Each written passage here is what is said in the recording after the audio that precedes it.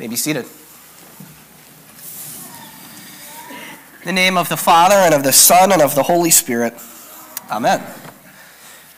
Let me be the first to say, Welcome to Holy Week. Welcome to the best week of the church year. I love Holy Week.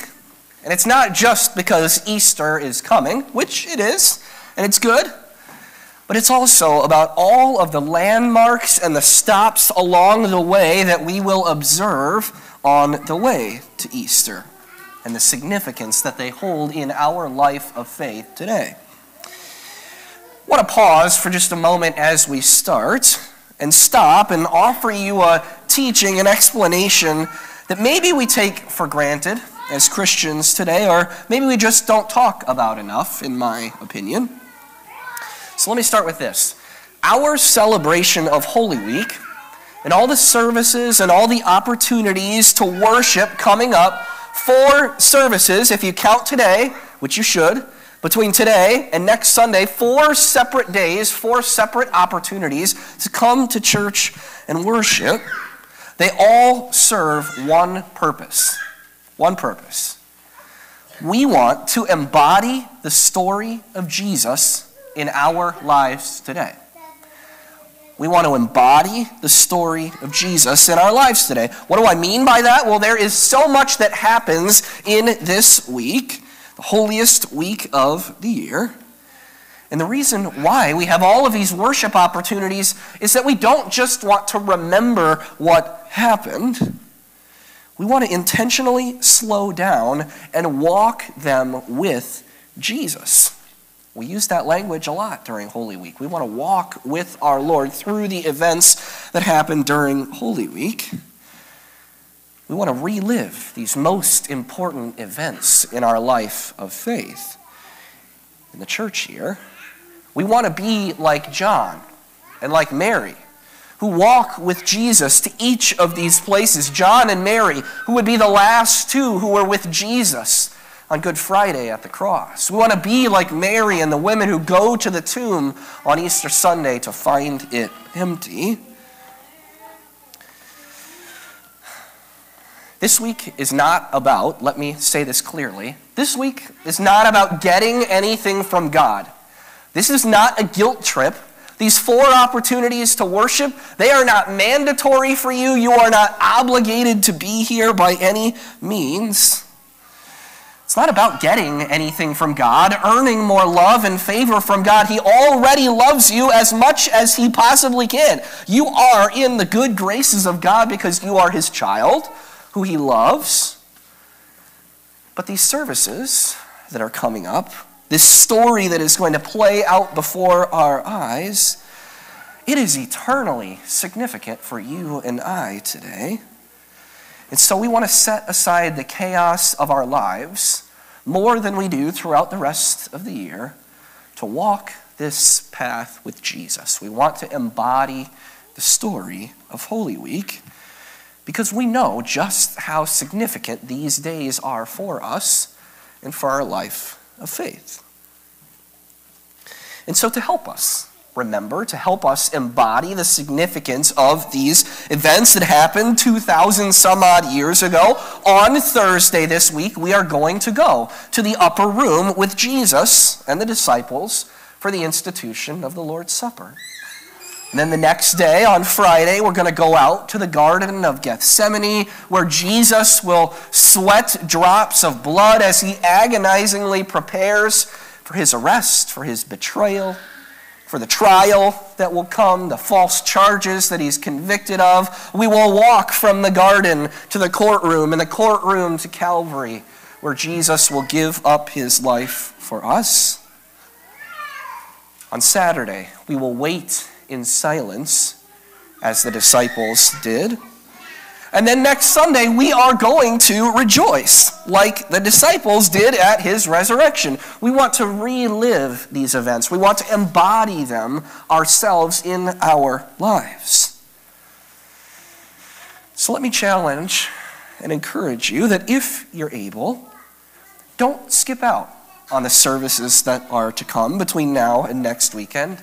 Come here again experience again, relive, embody these events that have happened. Experience again just what Jesus went through for you. Walk the path to the cross and the empty tomb with Jesus, and believe me, the Holy Spirit will, through the Word of God, work in your hearts in an amazing way. Don't do it to get anything from God. Don't do it to please God. Don't do it out of obligation or because you feel like you have to. Do it with joy and do it with faith. Do it with reverence for God. So, that embodiment of the last week of Jesus' life, it begins here and now today as we celebrate Palm Sunday. And today might be the best example all week of what it looks like to embody the story of what happens to Jesus during Holy Week. Because just like the crowds did on that first Palm Sunday, we are here, just like them, with palms in our hands, waving them, celebrating with Jesus, for Jesus. We still, 2,000 years later, say the same exact words that they did. We say, Hosanna! Blessed is he who comes in the name of the Lord. Hosanna in the highest. We hear the shouts of children welcoming Jesus, and it's almost like if we close our eyes, we're actually there with them on that first Palm Sunday. It's almost like we're in the crowd welcoming Jesus. It's a celebration that we get to participate in. It's a parade, a coronation for Jesus. And these are wonderful, beautiful traditions, meaningful ones that we should continue doing as we embody the story of Jesus in Holy Week. But you see, there's a problem. It's a problem we need to identify. As a preacher, Palm Sunday is kind of a difficult day, to be honest. There's a problem, and it's one that we don't often take the time to identify explicitly. And once we do, it changes how we view Palm Sunday and how we participate in it too. It's right there in our gospel reading from John chapter 12. Here it is in a sentence. The crowds who gathered with palms that first Palm Sunday the ones who shouted praise to Jesus, the same words that we say today. And yes, even the disciples, to some degree, didn't clearly understand what was happening or who they were welcoming that day. The crowds didn't fully get what was happening and who was coming right in front of them. Listen again to how John describes that scene, what I want you to listen for is what they say about Jesus, who they say he is, and I want you to listen for what John tells us about why the crowds are there that day. Listen again to John chapter 12.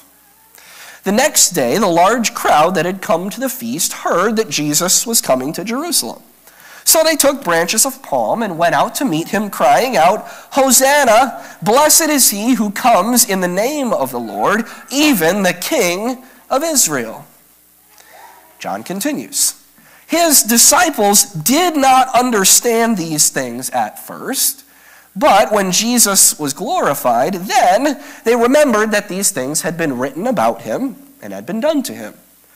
The crowd that had been with him when he called Lazarus out of the tomb and raised him from the dead continued to bear witness. Now, listen, get this. The reason why the crowd went out to meet him was that they had heard he had done this sign.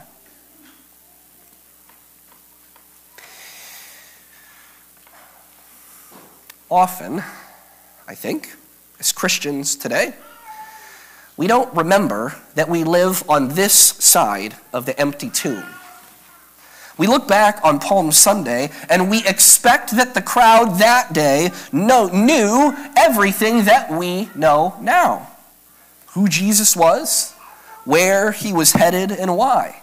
We assume or we project on them that as they shouted that familiar word, Hosanna, which means something like save us or save now, or even maybe even more closely, something like God save the king, that they were referring to the fight against sin and death and the devil that Jesus was there to fight. We assume, we project on them that they were echoing the words of John the Baptist Behold the Lamb of God who takes away the sin of the world. But John paints us a totally different picture in his account in the way he recounts the events of Palm Sunday. He explicitly tells us that even though the events of our Old Testament reading were being fulfilled right in front of their eyes, the words of Zechariah chapter 9 were happening, that the king was coming in on a donkey right in front of their eyes, they didn't get it until after Jesus had died and risen. He tells us that the crowds entering Jerusalem with Jesus were following him because he had done the miracle, the sign of raising Lazarus from the dead. It had only happened a day before, and they followed him from Bethany to Jerusalem. And they were still talking about that miracle that he did for Lazarus. They were telling all the other people there that day, hey, this is Jesus. This is the guy that just raised Lazarus. Can you believe it? And John tells us explicitly that's the reason why the rest of the crowd went out to meet Jesus that day. They wanted to see the guy that had just done this awesome miracle. John tells us explicitly they were there because they wanted to see Jesus, the miracle raising Lazarus guy. Did you catch the language that John records the people as saying to Jesus? They do say Hosanna, yes, but also, Blessed is he who comes in the name of the Lord, even the King of Israel. That's what John writes.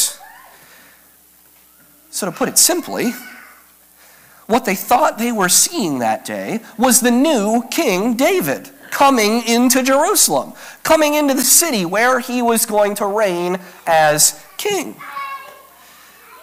They thought they were seeing a noble lion, to use an analogy, the lion of Judah entering Jerusalem, finally ready to pick the fight with Rome and with Pilate that they had been itching for for so long. This was their earthly king. And notice, Jesus doesn't stop them from calling him the king of Israel either. He allows them to call him that. And so as he comes in on Palm Sunday, they thought they were seeing the new King David, who was finally ready to pick that fight with Rome, pick that fight with Pilate that they had been itching for for so long. Did you notice what they didn't say to Jesus? They didn't use the words Son of God. They didn't use the word Messiah either.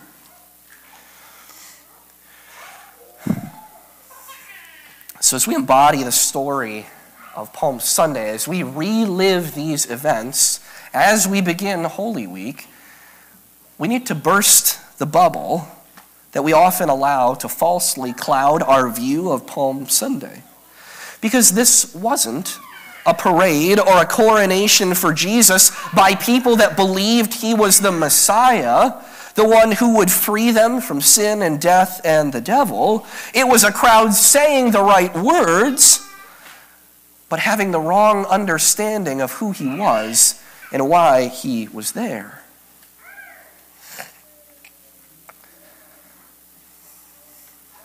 So it's really no wonder, you and I have heard this so often, that the same crowd that was there on Palm Sunday shouting praises to Jesus, six days later is the same one that shouts out, Crucify him.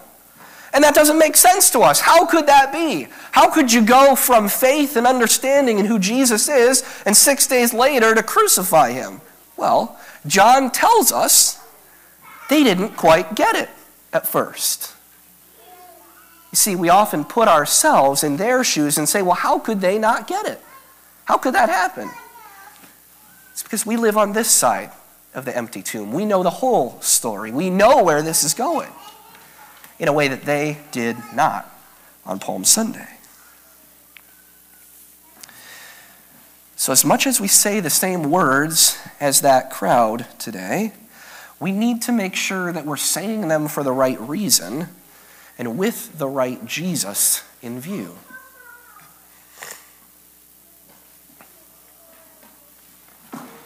So, where does that leave us then? What do we do with Palm Sunday? How do we embody this today? If the whole week, point of this week is reliving, embodying the story of Jesus, walking the path with him, what do we do with Palm Sunday? Well, honestly, the answer is pretty easy, pretty simple, and it only requires us to make one little change. See, we should still shout Hosanna. We should still wave our palm branches. We should still celebrate. Most of what we're doing is very good and right. But we should do that understanding that the Jesus we see coming in on Palm Sunday is the Jesus who was coming in as the lion of Judah, but who had come to go out like a lamb. We should remember that we know the why more clearly than the crowd did that day. We know why Jesus came. We should remember with a bittersweet reverence that in the words of our epistle, though Jesus was in the form of God, he didn't count equality with God a thing to be grasped, but he emptied himself by taking on the form of a servant. Being born in the likeness of men, he humbled himself and became obedient even unto death, even death on a cross. Jesus was, is the King of Israel. He had come in the name of the Lord, but he had come as the lion of Judah who was prepared to be sheared like a lamb on Good Friday. We should keep the words of John the Baptist in mind today that as we see Jesus come in, we should be saying with John, Behold the Lamb of God who takes away the sin of the world. Remember, Holy Week happens during the celebration of Passover. So many spotless lambs were being brought into Jerusalem to be sacrificed for sin, as they had so many times before, for so many years before. And as the lambs were brought in, so too the Lamb of God came in to be sacrificed, to give himself as the once and for all sacrifice, not to fight Pilate, not to fight Rome but to fight and defeat and win the victory over sin and death and the devil. Jesus, the Lamb of God, was coming to be sacrificed on the cross. And he did it for you so that you wouldn't have to endure the pain of eternal death, but that just like we will be celebrating Jesus' resurrection in just seven short days, his resurrection will become your resurrection as well. As we embody the events, as we relive the events of Palm Sunday again today, it's good and it's right for us to celebrate. We're saying the right words, we're doing the right thing. But unlike the crowd, you have a better understanding of who Jesus truly is and why he's come. He's the Lamb of God who's come to take away the sin of the world by being sacrificed once and for all for us. So today we do praise Jesus. We do shout Hosanna. We should wave our palm branches. But don't get carried away with the party. This is not only a happy, positive, celebratory day, because we know what's coming this week. We know the difficulty and the agony of this path that Jesus is walking. We shout Hosanna, we wave our branches because Jesus, the Lion of Judah, has come in like a lion into the city so that he might go out like a lamb. In Jesus' name, amen.